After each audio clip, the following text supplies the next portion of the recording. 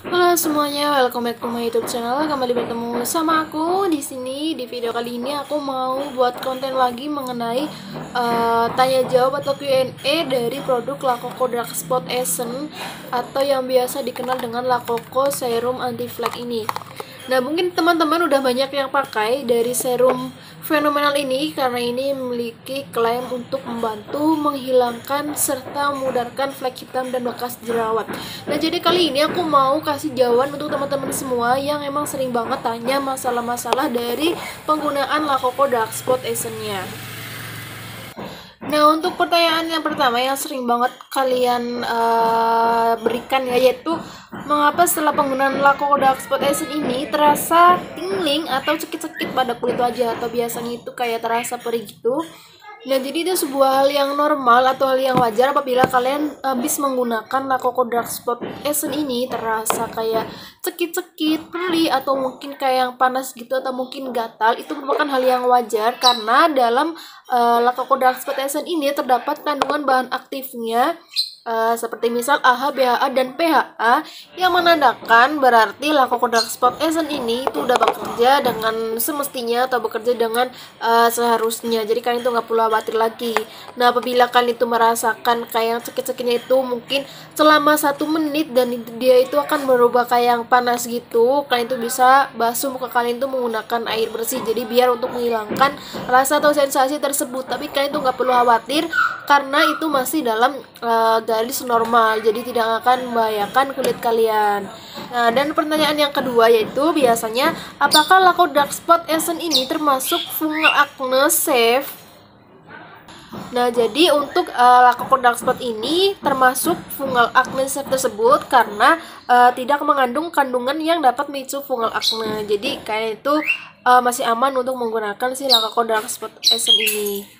Dan pertanyaan ketiga atau selanjutnya yaitu apakah Lakoko Dark Spot ini bisa digunakan setiap hari? Jadi uh, Lakoko Dark Spot Essence ini atau serum anti flek ini bisa digunakan setiap hari jadi ketika di pagi hari itu kalian itu bisa menggunakannya itu sebagai spot treatment. Jadi digunakannya itu di bagian flek atau uh, bekas jerawat atau noda hitam tersebut pada kulit wajah kalian sebelum kalian itu menggunakan sunscreen. Tapi kalau kalian itu mungkin fleknya gak ya terlalu banyak banget dan pengen awet, kalian juga bisa gunakannya itu di malam hari aja. Jadi untuk lakukan darah spot essence ini bisa digunakan pada pagi dan malam hari tergantung dengan kenyamanan atau uh, kesibukan kita masing-masing.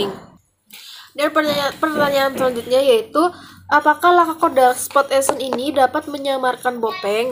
Nah, jadi untuk masalah bopeng itu sendiri merupakan, merupakan salah satu situasi kulit yang rada susah ditangani bahkan oleh skincare apa pun. Tapi kalian tuh nggak perlu khawatir karena Lakako Dark Spot ini bisa membantu untuk menyamarkan uh, noda uh, menyamarkan bopeng tersebut karena Lakako Dark Spot Essence ini milik uh, bisa membantu untuk mencerahkan serta memperbaiki elastisitas kulit kalian.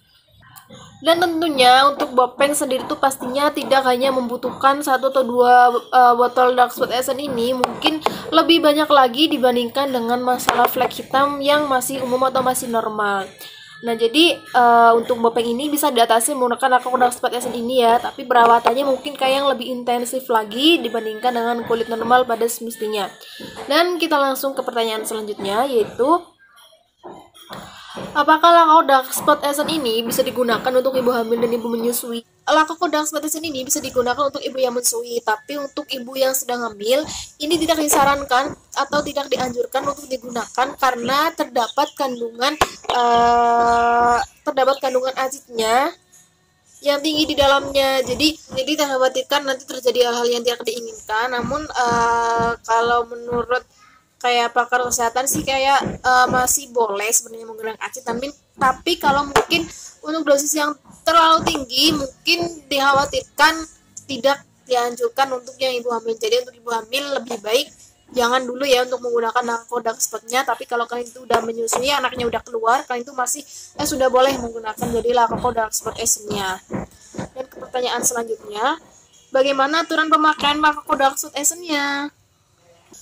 Nah, jadi di sini terdapat ada beberapa yang emang gak boleh ya untuk penggunaan alkohol dark spot essence ini sebaiknya tidak digunakan secara bersamaan dengan bahan aktif lainnya, mungkin seperti retinol, vitamin C, atau acid in ingredients lain. Namun apabila ingin digunakan secara bersamaan, perlu diperhatikan terlebih dahulu untuk uh, kondisi kulit dan reaksi terhadap kulit wajah karena biasanya uh, kondisi kulit kan memang berbeda-beda. Kadang ada yang fleknya itu komplika, uh, kombinasi kayak campur ada jerawatan juga, kadang ada uh, flek hitam yang tipe kulitnya itu berminyak, ada flek hitam yang tipe kulitnya itu kering dan ada juga uh, masalah flek hitam lainnya. Jadi harus diperhatikan dan uh, dengan reaksi terhadap kulitnya. Kadang di kulit aku itu bagus, kadang di kulit teman-teman mungkin ada yang malah jadi merah-merah, kayak ada yang mungkin jadi tambah banyak fleknya. Jadi itu juga berpengaruh dengan uh, kan apa sih dengan aturan pemakaian dari Lakoda Spot Essence-nya.